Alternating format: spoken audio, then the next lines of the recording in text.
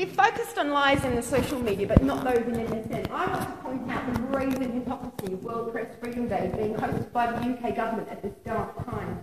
Julian Assange is being persecuted by war criminals and the corrupt that he exposed are still sitting in positions of power in the government on both sides of the aisle as well as in the, much of the media. Imagine the precedent Trump is setting that any country could extradite any foreign journalist publisher and make them subject to draconian laws, possibly the death penalty, just because they publish truth about the government's war crimes. Imagine if that state was Saudi Arabia.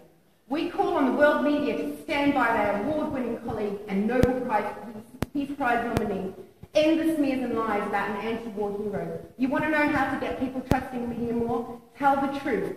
Stop delivering a one-sided, sanctioned, government-sanctioned narrative. That is what is going on here.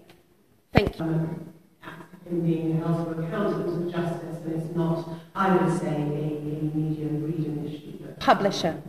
Well, the Tightening Guardian has done quite a lot on this question of whether he's a journalist or not, and has concluded that he's not. And their story on Manafort was a disgrace. Well, what about free speech? We were just talking about that. We are talking about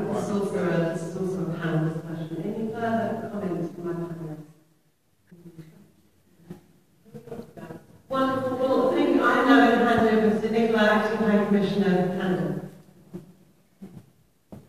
Not a mention of Julian Assange.